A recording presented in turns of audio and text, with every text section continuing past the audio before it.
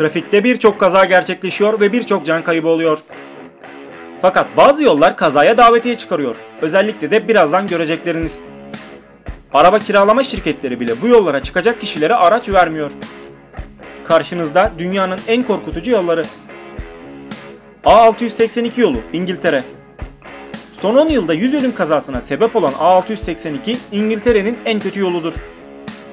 22 kilometre uzunluğundaki tek şeritlik yol Kuzey Yorkshire'dan Long Preston ve Nelson yakınlarından geçiyor. Son 3 yıl içerisinde 22 ciddi kaza meydana gelmiş ve bu kazalardan ikisi ölüm ile sonuçlanmıştır. Uzmanlar yılda her 32 kilometre için bir ölüm olduğu istatistiğini çıkarmıştır. Troll merdiveni Norveç Troll merdiveni olarak bilinen yol Norveç Roma yakınlarında bir dağ yolu. Turistlerin ilgisini çeken dar yol keskin virajlara sahip.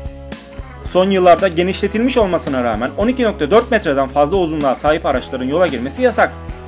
En yukarıda ziyaretçilerin arabalarını bırakacakları bir otopark bulunuyor. O noktadan itibaren ise 10 dakikalık bir yürüyüşten sonra çıktığınız yolu ve müthiş manzarayı görüyorsunuz. Federal ana yolu Rusya. Rus Federal ana yolu Moskova ve Yatuks'u birbirine bağlayan Antarktika dışındaki en düşük hava sıcaklıklarının kaydedildiği yer. Aynı zamanda Yatuks, donmuş kara parçası üzerinde kurulan en büyük şehir. Bazı evler donmuş yüzey nedeniyle tamamen beton kaplı. Yaklaşık 10 ay süren kış mevsimi boyunca şehrin içinde ve dışında araba sürmek ağır iklim şartlarında yol almayı gerektiriyor. Asfalt kaplı olmayan yol yaz aylarında çamurla kaplanıyor ki bu da yoğun trafiğe neden oluyor.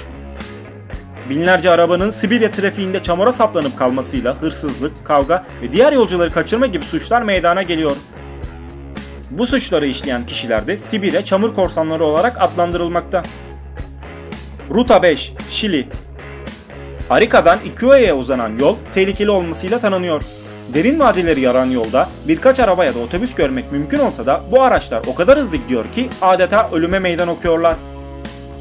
Gualiang Köprü Yolu, Çin Taiyang Dağları üzerindeki yol yerel köylüler tarafından yapılmış. 1200 metre uzunluğundaki tünel 5 metre yüksekliğinde ve 4 metre genişliğindedir. Bazı köylüler yapım aşamasında kaza geçirerek yaşamını kaybettiyse de çalışmalar devam etti. 1 Mayıs 1977'de trafiğe açılan yol Çin'deki Hunan eyaletinde yer alıyor. Ölüm yolu Bolivya Ölüm yolu olarak bilinen Kuzey Yungas yolu 69 kilometre uzunluğunda. Las Paz'dan Coroico'ya yani Bolivya'nın başkentinden Amazon bölgesine kadar uzanıyor. Bolivya'nın Yungas bölgesinde yer alan yol aşırı derecede tehlikeli olmasıyla tanınıyor. Inter-American Development Bank 1995 yılında buraya dünyanın en tehlikeli yolu ünvanını vermiştir. Her yıl 200 ya da 300 ziyaretçinin hayatını kaybettiği yolda araçların kaza geçirdiği noktalar işaretleniyor. Ya Merak'tan kanalımızı takip etmeyi unutmayın.